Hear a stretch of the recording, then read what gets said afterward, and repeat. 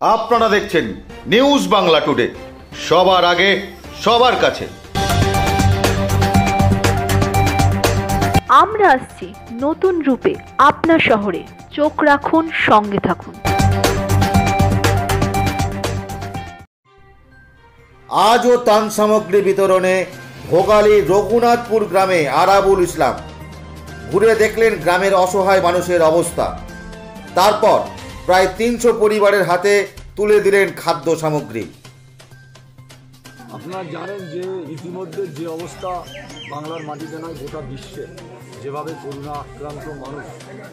আজকে গোটা বিশ্বে এক লক্ষেরও বেশি মানুষ মারা গেছে।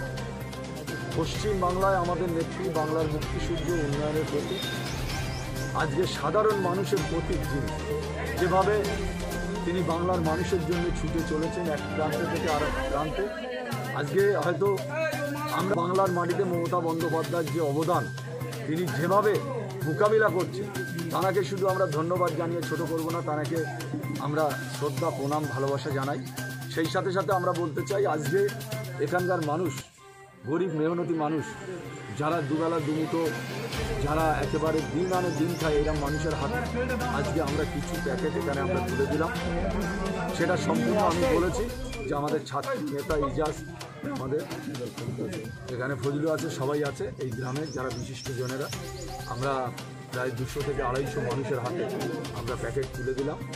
আমরা চাইব যে এই ধরনের মানুষের পাশে থেকে, মানুষের সাথে থেকে, মানুষের বিপদের সময় তাদের পাশে দাঁড়িয়ে সাহায্য করা বা তাদের হাতে কিছু তুলে দেওয়া, এটা সেইভাবেই আমরা তাদের হাতে তুলে দিলাম, আপনারা জানেন।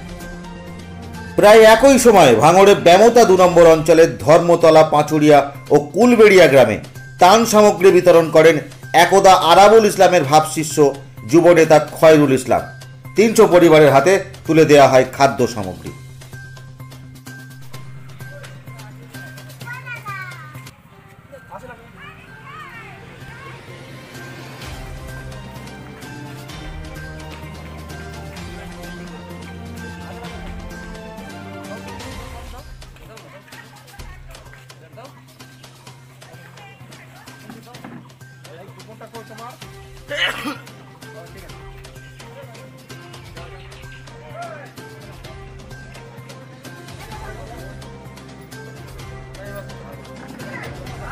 কতজনকে খাদ্য সামগ্রী বিতরণ করা আমরা আজকে দুশো ষাট জনকে খাদ্য সামগ্রী এটা কেন? মানে কি জন্য দিচ্ছেন আপনারা? যে করোনা ভাইরাসের জন্য সারা বিশ্বে যে লকডাউন চলছে তো আমাদের গ্রামে কিছু গরিব লোক আছে যারা একেবারেই খেতে পাচ্ছে না। তার জন্যে আমাদের ঝন্টুদা এবং খৈরুলদার উদ্যোগে এই খাদ্য সামগ্রী হাতে গরিব লোকের হাতে তুলে দিলাম।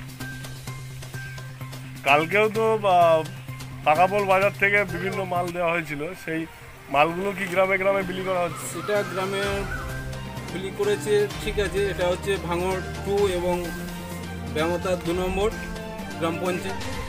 খাদ্য সামগ্রী মানুষের হাতে তুলে দেওয়া হচ্ছে কী বলবেন বিষয়টা নিয়ে? আমাদের মাননীয় অয়ন ভাই টুয়ের সহসভাপতি উনি আমাদের সাধারণ মানুষের পাড়ে দাঁড়িয়ে যে হেল্প করছে তার জন্য ওনাকে আমরা ধন্যবাদ দিই। আমাদের মন্ত্রীবাবু আছে। উনিও আমাদের প্রচণ্ডভাবে হেল্প করেছে এবার সাধারণ মানুষের প্রত্যেকে এই লকডাউনের সময় যদি করা হয়। তাহলে আমরা যথেষ্ট উপকৃত হব সাধারণ মানুষের উপকৃত হবে। সোশ্যাল কার্ড ওরা প্রায় করে থাকে। আপনার নাম? আমার নাম গোবিন্দ সরকার।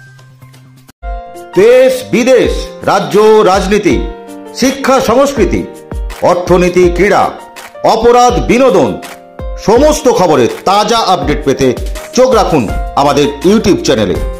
আমাদের চ্যানেলটিকে সাবস্ক্রাইব করুন ও পাশে থাকা বেল আইকনটি প্রেস করুন।